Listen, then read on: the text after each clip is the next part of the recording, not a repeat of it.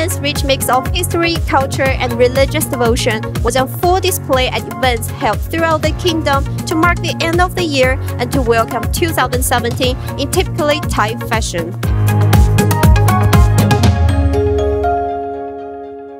Hey guys, welcome to the Travel exclusive. This is August. Today I'm going to take you a look around at Central World for Thailand Countdown 2017. Let's check it out.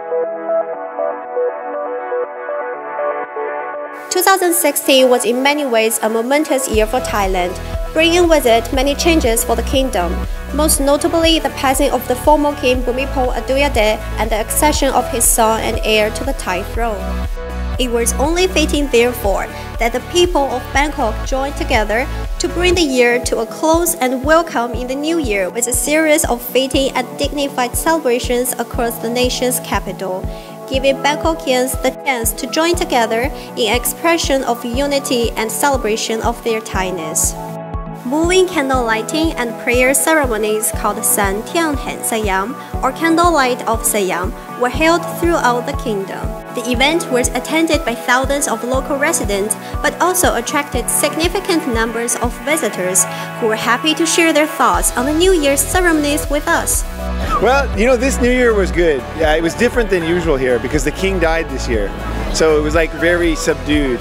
So now it's like super quiet, right? Like everybody's going home, right?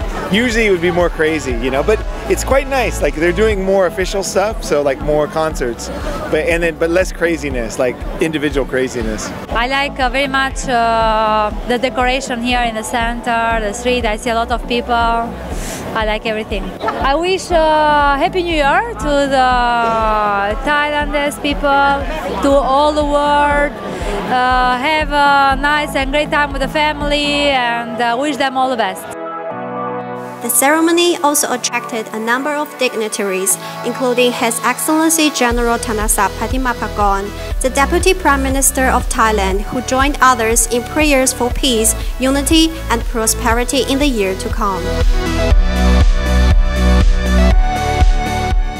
Have it. Happy New Year, everybody. Wish you all the best from our iTravel team. And don't forget to check out more iTravel exclusives only on the iTravel channel.tv. If you're planning a trip to Thailand, be sure to head over to go2destinations.com to check out their exclusive and limited time only package deals.